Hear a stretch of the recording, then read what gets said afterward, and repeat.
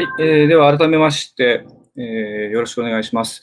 今日は正しい怪我の予防法ということで、えー、特に、えー、子供向けのところでお話をしていきたいというふうに思います。あまり時間も、うん、ないので短い時間になりますので、細かいトレーニングの内容などは最後に、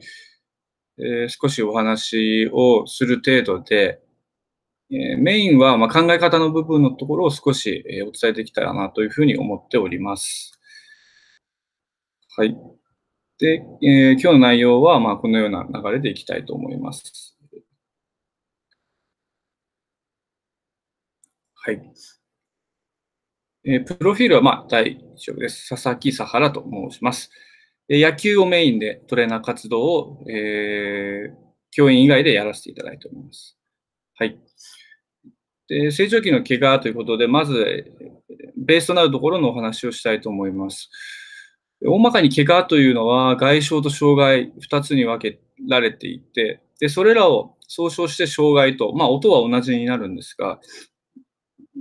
えー、と文字がちょっと変わってきます。えー、傷の害と書いて障害。これを一般的に怪我というふうに呼んでいます。で、それぞれですね、えー、まあ、1回の外力によって起きる怪我と繰り返しの外力によって起きる怪我、外傷と障害というふうに定義づけられていて、障害が多く防ぐことが可能だというふうに考えられています。で、この障害、特にですね、子供に関係してくるところで言えば、腰痛とか膝の痛みになってくるかなと思います。でそれぞれどのような怪我が挙げられるかというと、腰椎の分離症やオスグッド、もしくはま野球肘といったところが、特に成長期の怪我に関わってくるかなというふうに思っています。ですね。で、これらの成長期の怪我も実は、え多く防ぐことが可能というふうに考えられております。でこの考え方が非常に大切ですので、そこの部分を今日はしっかりとお伝えできたらなというふうに思っています。でまず、まあ、成長期の怪我ということで、子供の、えー、特徴ですね。3つ挙げられています。骨が柔らかいことと、まだまだ身長伸びますので、つまり骨が伸びるということで、えー、骨端線というものが X 線上、つまりレントゲン上で存在します。あとは骨がこう伸びるのに対して筋肉の柔軟性が追いつかないので、体が一時的に硬くなる時期があるというのが子供の特徴になります。なので、えー、同じ身長でも大人と子供は違うんだという考え方が非常に大切です。かあの見た目上の身長は同じでも、中身、特に骨の部分と筋肉のところが全く異なりますので、その辺の考え方が大事になるかなと思います。これ骨端線です。11歳と15歳で、ここに、えー、15歳になるともう閉じてしまって見えないんですけど、11歳だとまだまだここに骨端線というものがあるので、まあ、これがある以上骨がぐーっと伸びて身長が伸びるということになります。で、成長期の怪我というのは、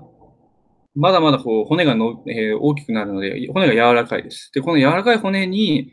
繰り返されるストレスが加わって、痛みを発症するというのが成長期の怪我のメカニズムになります。で、この繰り返されるストレスというのが、まあ、オーバーユース、えー、いわゆる練習のしすぎとかですかね。あとは悪い姿勢、動作による運動というのが、えー、原因となることがほとんどです。なぜ成長期の怪我が予防可能かというところの考え方をお伝えします。でなぜかというと、成長期の怪我というのはさっきも出てきましたが、姿勢や動作、もしくはトレーニング方法に原因があることが多いので、予防ができるというふうに言われています。もちろん、この背景には骨が柔らかいという条件がありますが、この姿勢や動作、トレーニング方法を間違っているから、怪我が起きるんですよということが、えー、あります。で、まあ、予防できるんですけども、成長期の怪我ってよく起きるし、治りにくいと思っている人がやはり多いのではないかと。私自身ももちろん、えー、成長痛、膝の痛みもありましたし、野球を小さい頃やってたので、肘の痛みもありました。で治りにくいなとも思ってましたし、膝が痛くなった次は肘かというふうに、まあよく起きるなというふうに思っていましたが、実は成長期の怪我ってよく起きる、頻発するのではなくて、姿勢と動作の作り方、えー、つまりトレーニング方法を間違えているだけだったんだというのを、まあ、勉私自身がトレーナーになって勉強して分かりました。なので、正しい姿勢と動作を理解してて、観察できて、そしてそれをさらに指導できるトレーナー、あ、すいません、大人ですね。で、トレーナーとか、まあ、接骨院の先生とか、あと、まあ、ここに書いてないですけど、指導者とかですね、親御さんとか、えー、この辺の環境が非常に大切になります。で例えば、野球で言うと、肘を下げてはいけないと、投げるときに肘が下がってはいけないという分かってもいるし、えー、肘下がってる、あの子肘下がってるよねって見れるという大人はたくさんいます。ただ、そこを改善していく指導できる大人というのがほとんどいないので、怪我というのがよく起きるというふうなことが問題になります。あともう一つの考え方は、まあ、姿勢や動作、もちろんそうなんですけども、個人差を考慮した練習トレーニングができていないので、よく起きるだけなんですね。で、これあんまり大きいこと言えないんで薄くしてますが、え練習とかトレーニング量とか、まあ、その内容ですよね。自分の経験値とかネット情報に踊らされずにしっかりコントロールできる指導者がやっぱり必要です。ここができないと、いくら家で気をつけたり子供たちが気をつけていても練習内容自体が怪我を誘発してしまったりとか、えー、そもそも個人差を考慮しね、全員同じというふうに考えて、えー、メニューを組んでしまうと、やはり成長期にはきついと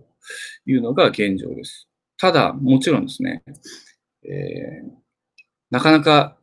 じゃあ身長が今伸びてる子はこのメニュー、伸びて、伸びきった子はこのメニューというふうに分けることは、現場レベルでは難しいというのは理解しています。ね、ただ、えー、その中でも少し配慮が必要なんじゃないかという、ま、配慮できてないまでは言わないですけど、もう少しできたらなという現場が数多く見られるのが現状かなというふうに思います。はい。で、非常に大切な考え方で、痛みが痛い場所に問題とか原因があるというふうな考え方ではなくて、体をうまく使えていない結果として痛みが誘発されているんだと。で、体をうまく使えてないということは、どこかに硬、い部分だったり弱い部分があるんだという考え方が非常に大切になります。この硬い部分というのは、結構、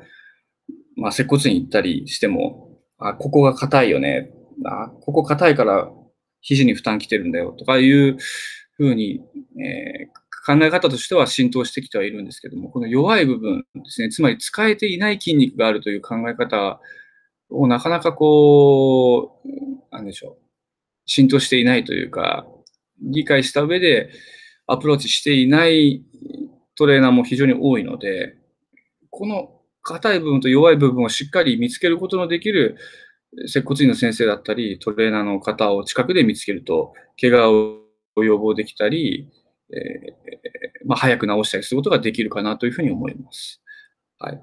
まあ、頻発しもうしないという、しないというか、まあ、動作とか姿勢とか、あと練習面に気をつければ、まあ、予防はできるんだというのはなんとなく分かったと思います。はい。ただ、どうしてもですね、やっぱり柔らかい骨にストレスかかってくると、痛み出やすいので、出てしまった後ですね、いや、治りにくいじゃないかということなんですけども、これも実は治りにくいのではなくて、ただ単にアプローチ、つまり治療を間違えていることが多いと。よくあるパターンは痛みが出て、えー、まあ、2週間ぐらい安静にしなさいというふうな診断を、まあ、大体もらえます。で、いつからやっていいですかというと、ほぼ間違いなく痛みに引いたらやっていいですよというふうに言われます。で言う通り、痛み減った後に、えー、競技復帰すると、また痛み繰り返すというのがよくあるパターンで、これはもう最悪なパターンですね。で、ここはなぜかという、なぜこれが起きるかというと、姿勢や動作の改善ができていないと。つまり原因を取り除けていないのに復帰してしまっているのが、えー、この悪いサイクルにはまる原因です。で理想的なパターンとしては流れは一緒なんですけども、この安静の時にただ単に痛みが引くのを待つのではなくて、え、原因の除去、つまり姿勢と動作の改善をしていくというのが非常に大事になります。これをしっかりできることによって、障害の発生を予防することができたりとか、まあ、早く治るという表現が適切かわかりませんが、ずるずるとこう繰り返すことはなくなる可能性が高いというふうに言われています。つまり、正しい怪我へのアプローチを理解してて、それを実施できる、まあ、治療できる。そしてさらに、それを、まあじゃあ、例えば家でできるストレッチングこうですよ。家でできるトレーニングこうですよっていうふうに指導できる大人が周りに必要だということなので、しっかりとこう、いい病院の先生とかと、いいトレーナーと出会うことが大切かなというふうに思っています。なので、障害は頻発もしないし、治りにくいわけでもないです。しっかりと考え方があれば対応できるというふうに、えー、私個人としては思いますし、えー、専門書にも、まあ、やはりそのように書いてあることが最近では多くなっています。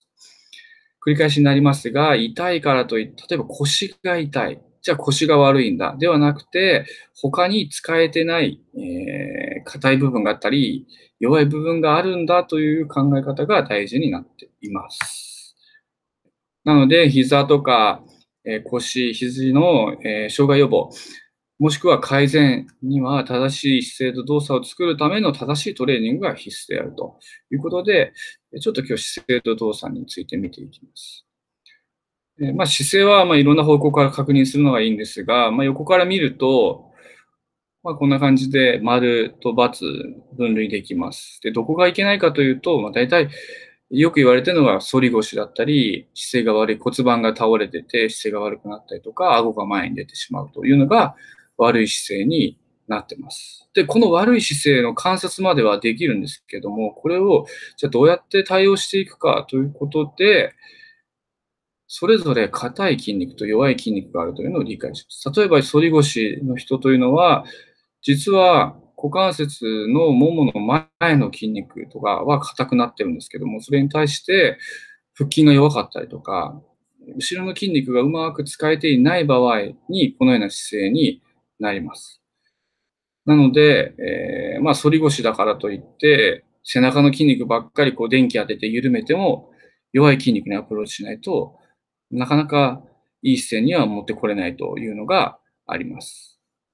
でそれぞれの姿勢で、え、硬い、弱いという、え、それぞれの筋肉がありますので、ここを理解して、トレーニングとかストレッチングを継続していくことが、まず、えー、ベースとして大切になっています。はい、ただですね、ここにも書いてあるんですけど、姿勢が悪いイコール、えー、じゃあ動作が必ず悪くなるかというわけではなくて、逆を言えば姿勢がいいからといって、いい動作、いいフォームで投げれるか、いいフォームで走れるかというと、そうではないと。今、動画とか画像とか簡単に撮れますので、これらを利用して、動作しっかり確認する必要があるということになります。つまり姿勢だけじゃなくて動作まで観察して指導していく必要があるということになります。はい、で、怪我の予防改善につながる動作、えー、言い方を変えるとですね、いい選手ほどこの3つの動作がしっかりできます。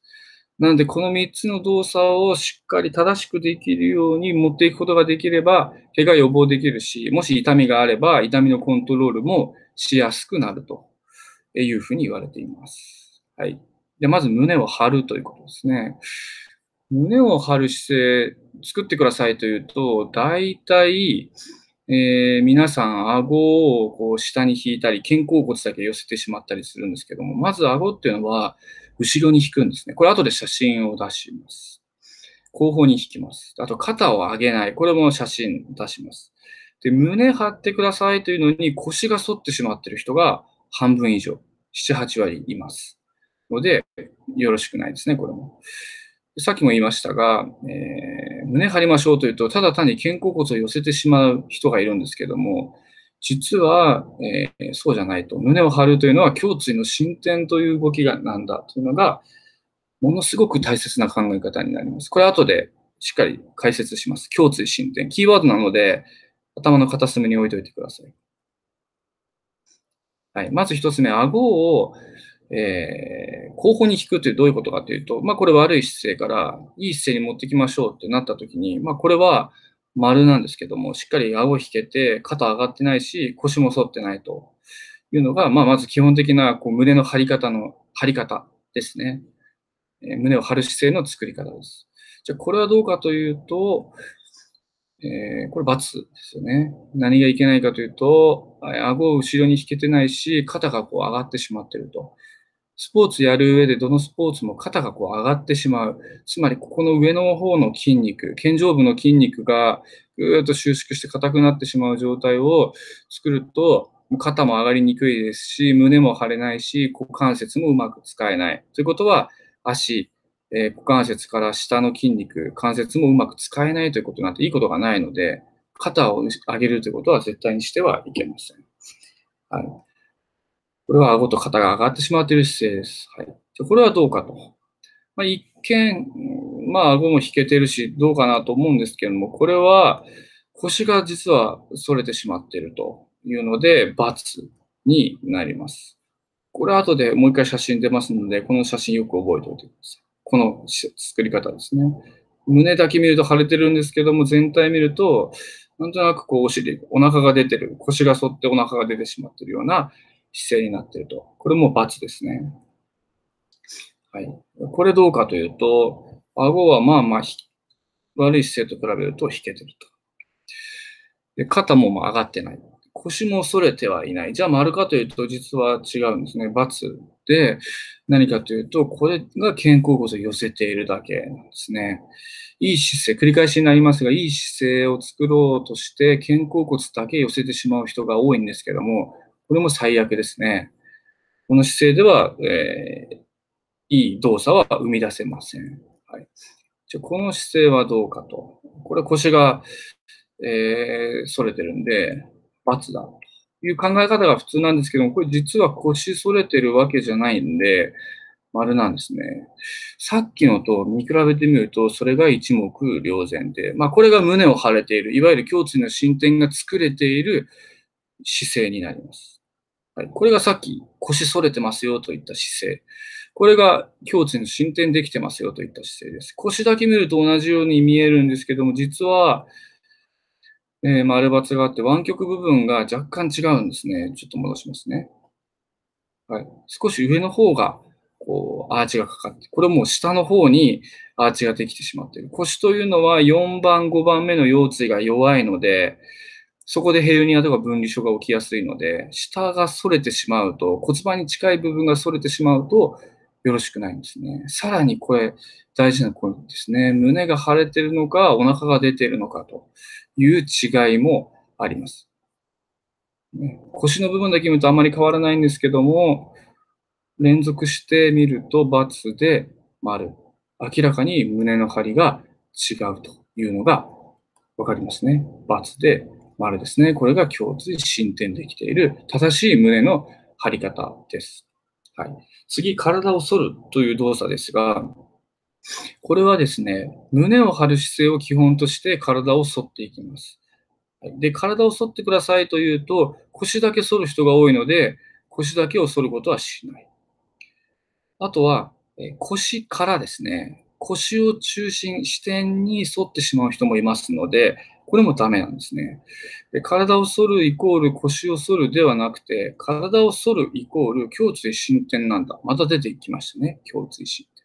この考え方も非常に大事です。では、どのように反っていったらいいかと。これ、どうでしょうか。まず胸を張った。まあ、普通のまっすぐ立った姿勢から、はい、腰反って、えー、すみません、体を反ってくださいというと、こうやって反る人が多いんですね。これは明らかに腰だけを反ってるし、腰から反ってるんですね。なので、バツ。腰に負担がかかってきてしまいます。はい。これはどうでしょうか。腰だけは反っていないんですが、これも×で、ちょっと写真で分かりにくいんですけども、実はこれ腰から反り始めると、こういう体の反りになってしまうんですね。はい、じゃあ次どうでしょうか。これはどうでしょう。これが実は丸。丸な、ちょっと私がモデルでは、もう少し体が柔らかいモデルがいればよかったんですけど、ちょっと取れてなくてですね、申し訳ないんですけども、一応丸です。これがいわゆる胸椎進展ができているという体を反る動作になります。はい。同じように後ろを向く姿勢なんですけども、腰から反ると、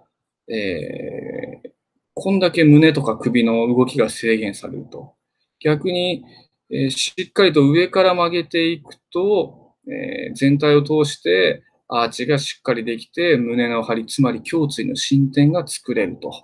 いうことになります。で上から曲げるというのはどういうことかというと、あ、その前に連続してちょっと見てみましょう。これが胸椎の進展ができていない、つまり腰から反ってしまっている動作。これが上から、えー、反り始めている動作。こうやって見ると違いますよね。しっかりと全体的に反れていると。まあ、ちょっとやっぱ硬いですね。申し訳ないですね。はい、上から反るってどういうことかというと、姿勢を正したところから、まず首を目いっぱい傾けます。はい、でその後、少し胸をぐーっと曲げていって、最後に腰のところをぐっと曲げていく姿勢を、え、作るのが大切です。これがいきなりここからこの姿勢を作ろうとすると、どうしても腰から動いてしまって腰に負担がかかってくるので、しっかりと、例えばウォーミングアップの時に、こういう首から反り始めていくような胸の張り方、体の反り方を作っていくことが大切になります。これが正しい体の反り方になります。はい。で、先ほどから、えー、何回か出てきている胸椎の進展と、これがすごい大事な動作になります。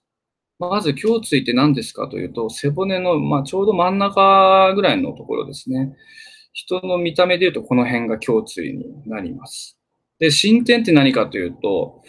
この胸椎とここですね。胸椎が進展する。つまりこういう動作ですね。ここが、えー、をしっかり作るのが大事だ。ここに書いてある通りですね、胸椎の進展の方が大きい可動域を持ってます。腰と比べるとですね。それなのに、腰から動いてしまうと、15度以上の動きが、えー、腰椎に出てきてしまって、ちょうどこの辺りですね、後ろ辺りに負担がかかって分離症になってしまったりとか、えー、まあ、成長期終わって、大学生以上になってくるとヘルニアとかがこの辺で出てきます。ね、繰り返しになりますが、なぜそんな怪我が起きるかというと、反れるはずない腰が動作が悪いことによって反れてしまって、腰椎に負担がかかっていると。じゃあどうしたらいいかと言ったら、腰椎よりも反る力、反る可動域を持っている胸椎をしっかり反らせてあげましょうねというのが、一つ、えー、腰への負担を防ぐ方法になります。はい。じゃあ、胸椎進展させるためにどうしたらいいかというと、大事な筋肉が2つ、僧帽筋下部と僧帽筋上部ですね。それぞれ大事なんですが、考え方が違います。上部は、あすみません、下部は、えー、機能させると。で上部は固めちゃいけないんで、緩める、え、機能を抑制してあげましょうというのが考え方になります。はい。上部ここです。下部はここ。こっちは使えるようにして、こっちはあんまり使えないように緩めてあげましょうねというのが、胸椎の進展、つまり体を、えー、そうまく反ったりとか、正しい胸の張りを作るために大事なところになります。はい。後でトレーニングメニューは少し紹介しますね。はい。次、股関節を使うです。はい。正しく股関節使うってどういうことかというと、まず一つはしゃがむ動作で、膝が優位にならないと。膝だけで動かないということですね。で、腰を反らない。あとは後ろ体重にならないというのが、まずしゃがむ動作の股関節の使い方で大事なところです。写真で見ていくと、まあこんな感じですね。しゃがむ動作で、この中に丸が2つありますね。はい。これです。はい。えー、これはいいんですね。これもいいですね。×なんで×かというと、まずここ腰が反れてしまっていると。これよろしくないですね。これなんで×かというと、後ろ後方荷重になってますね。骨盤がぐーっと後ろに倒れかけてて、つま先見ると少し浮いている。つまりかかとに体重がいってしまうと。これすごい多いですね、子供に。ここの動作もよろしくないです。はい。でこの動作は何がいけないかというと、よく言われているつま先より膝が前に出ているので、×なんです。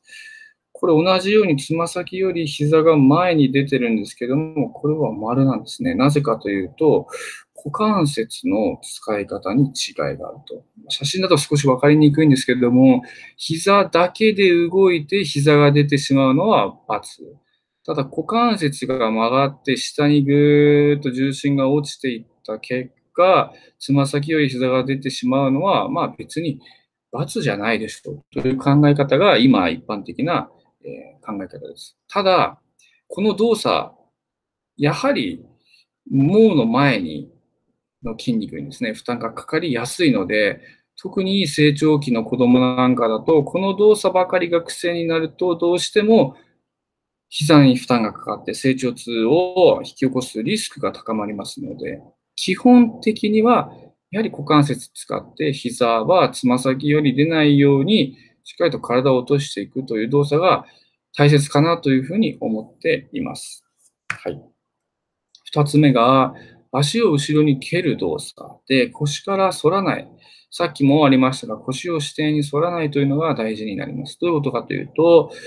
えー、こういう直立の姿勢から股関節を使って足を後ろに蹴る、まあ、引く動作をするときにですね、足が引けてから腰が反れる分にはいいんですけども、足引く前に腰からぐっと反ってしまうと、これも腰に負担がかかる動作を習慣づけてしまいますので、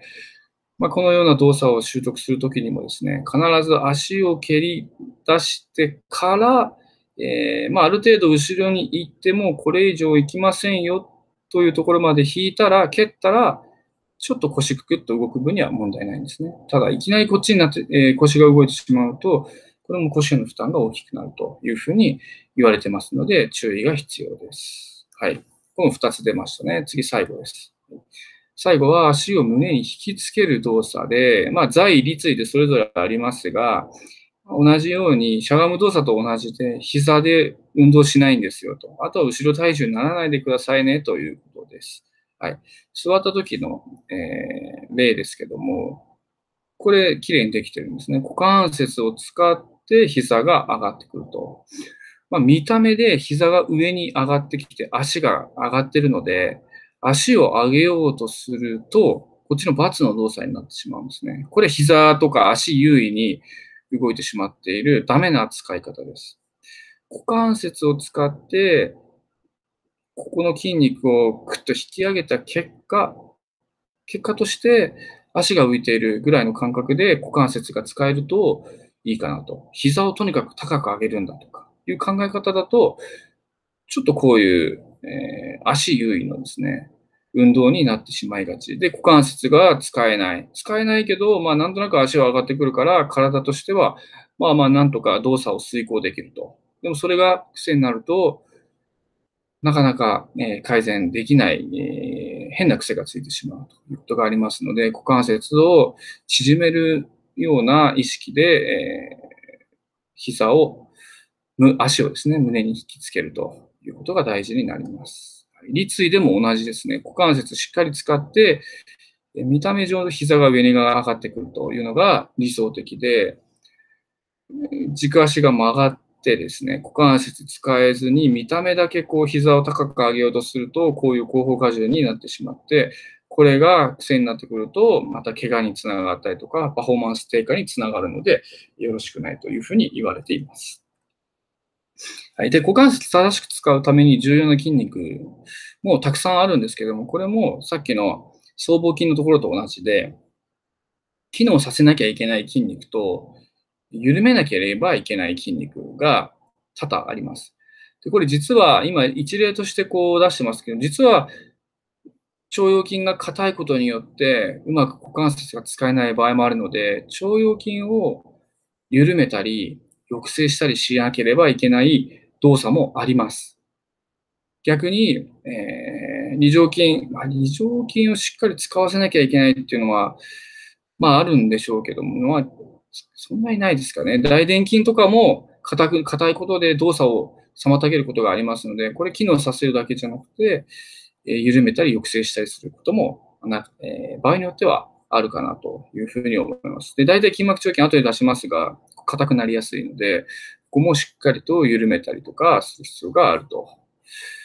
えー、筋肉の場所ですね。中殿筋、大殿筋は大はお尻の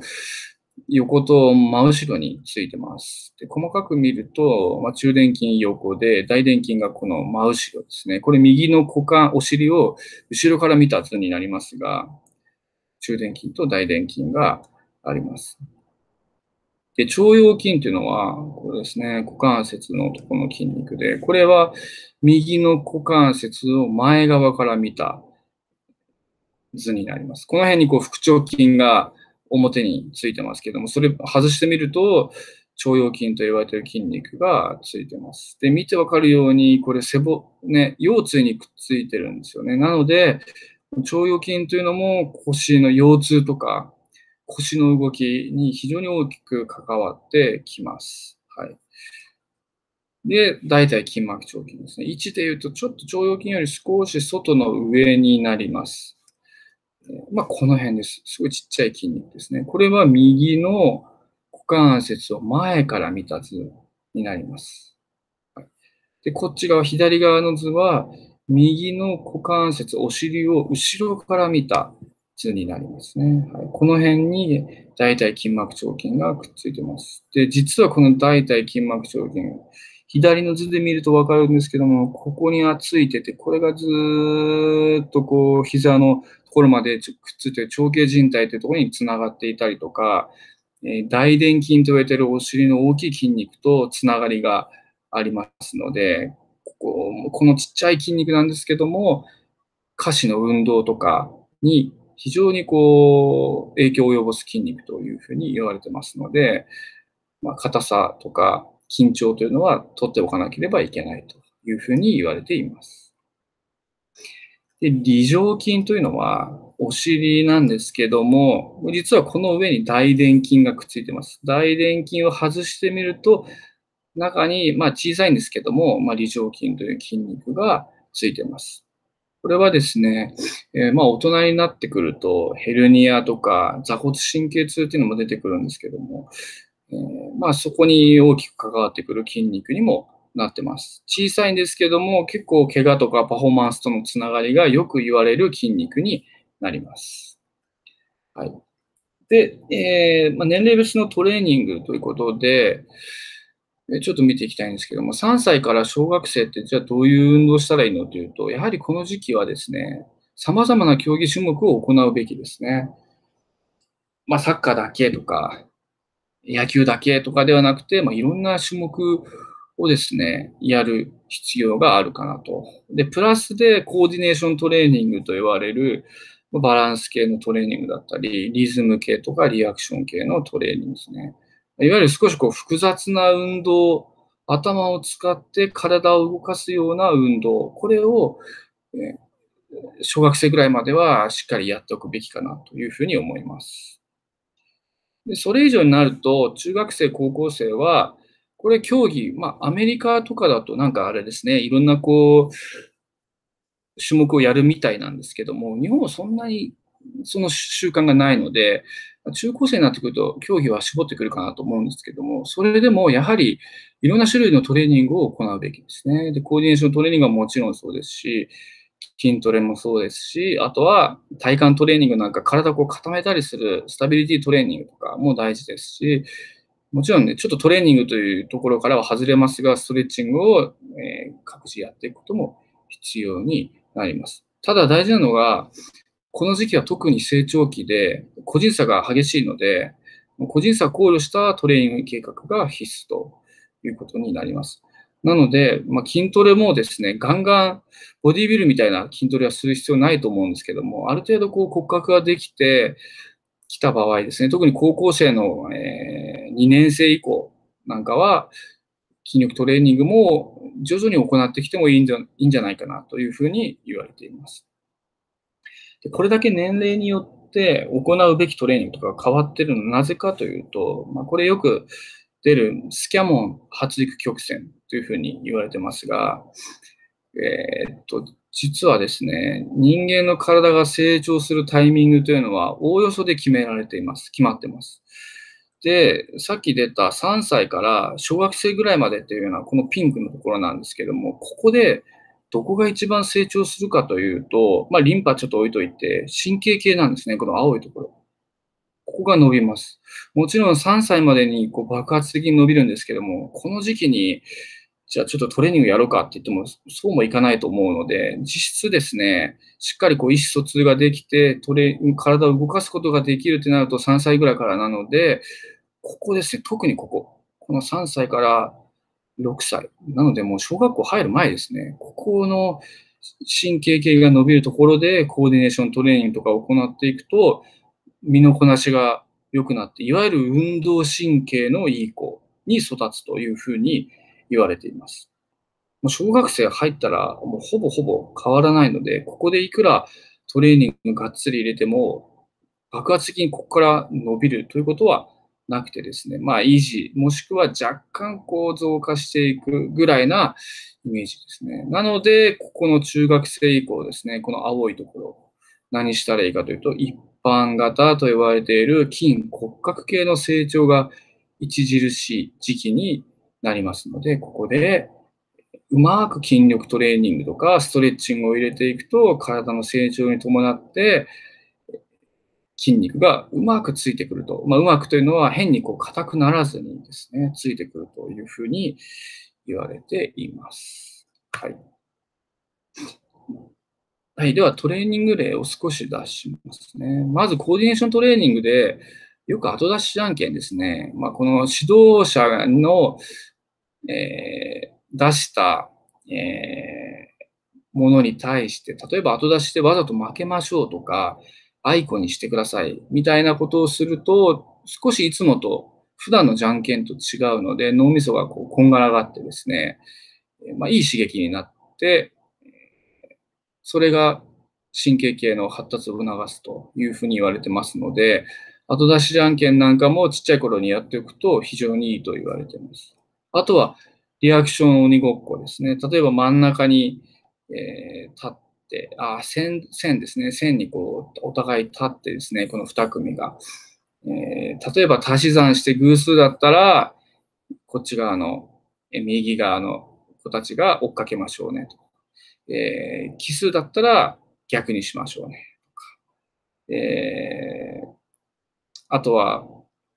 例えば全員4人をですね、真ん中の白いラインに立たせて、まあ、同じように例えば、えー、掛け算を言って、奇数だったら右側に走りましょう。偶数だったら左に走りましょう。みたいなリアクション系のドリルなんかも入れる。つまり運動にプラスで脳みそを使わせることをするというのが大事になります。これミラードリルも一緒ですね。指導者。まあ指導者じゃなくてもいいんですけども、前に出ている人がやった動作を真似て、えー、体を動かしましょうという運動ですね。まあ、こういうのも小さい頃にやっておくと、え、いい刺激になるというふうに言われています。はい。で、ここからはさっき、スライドで出てきたところのトレーニングの例なんですけども、例えば僧帽筋下部は、え、チューブでこう引きつけて、これチューブなくてもいいんですけど、別に肩甲骨をこう寄せるような運動で一般的には言われてますが、これ実は正しく胸張って引きつけていくと、僧帽筋下部に刺激が入ってきます。こういう動きがすごい大事です。横から見るとこんな感じですね。上から引きつけると。首のとこまで引きつけると。これ後ろに持ってきてますが、前でもいいんですね。顎のところに持ってくる方法でもいいと。まあこんな感じですね。これもしっかり胸張って、えー、引きつけることによって僧帽筋下部に刺激が入ってきます。はい、あとは引き付けの動作も実は僧帽筋の下部に入るので、チューブを持って引き付けるという動きが大事になります。これも上部は使ってはいけないので、こうここの肩の上のところですね、僧帽筋上部を使って引き付けるのはよろしくないですね。見た目で明らかですね。これは上の筋肉が緊張していないと。これは上の筋肉で引き上げてしまっていると。こういう習慣をトレーニングでつけてしまうと、かなり動作に悪影響を及ぼすので注意が必要です。はい。まあ、こんな感じですね。これが丸で、これが×と。すみません。ね。もう一回出しますね。これが丸で、これが×と。えいうことですね。あとは少しこう体の前傾ですね。前に倒した状態で引きつける動作も大事です。これも同じでですね、ここから引き上げたら少しこう反対の腰の方に向かって肘を持っていくと、さらにこう、僧帽筋下部に入るので、ただ上に上げるのではなくて、ちょっとこう、締めるような動作を入れるのが大事なんですが、体を前傾にすることによって、まあ、このように肩の上の筋肉を使って引き上げてしまう場合もありますので、これもダメですね。正しいのはここからこうですね。悪いのは、はい、ここからこういう動作ですね。これが癖になると、ボール投げたりするときに、この上の筋肉が緊張しやすくなるので、投球動作を妨げる原因になってしまいます。あとは小さい筋肉も、えー、教育する必要があるので、極上筋と言われている筋肉ですね。チューブを使って、えー、少しこう引き上げるような動きも大事です。これがですね、これ以上手が上に上がってきてしまうと、この狙っているはずの極上筋ではなくて、大きい外側の筋肉、三角筋と言われている大きい筋肉に刺激が入ってきてしまいますので、あんまり動かさなくていいんですね。細かく動かすのが大切になります。はい、あとは、あんまり今やりませんが、え小指を上に向けた状態でも極上筋鍛えられるというふうに言われていますので、肩ちょっと痛めやすいので、この動きとは私自身もそんなにこう推奨はしませんが、まあ、これも参考書によっては載っているトレーニング方法になります。あとは極下筋と呼ばれている同じくインナーマッスルですけども、これは小さく前習いの姿勢を作って、そこから少し外に広げていくようなトレーニングですね。これも外に広げすぎると、外側の大きい筋肉に刺激が入るので、細かく動かすことが大事になります。あと、握り方ですね。ぐっとこう、上の方みたいにしっかり握りすぎてしまうと、大きい筋肉使いがちなので、親指と人差し指の付け根で挟む程度ですね、軽く握って運動することが大事かなというふうに思います。はい。もちろん片手でですね、え腰のとこに当てて、外に引っ張るというのもありです。ありなんですが、まあ、どのチューブトレーニングにも当てはまるんですけども、スタートの段階でチューブがたるんでしまっていると、えー、最終運動域まで行った時に、やっとチューブが伸びる程度で、全く刺激が入らないんですね。なので、スタート時点である程度こう、ゴムに張力を持たせておくというのが大切になるかなというふうに思います。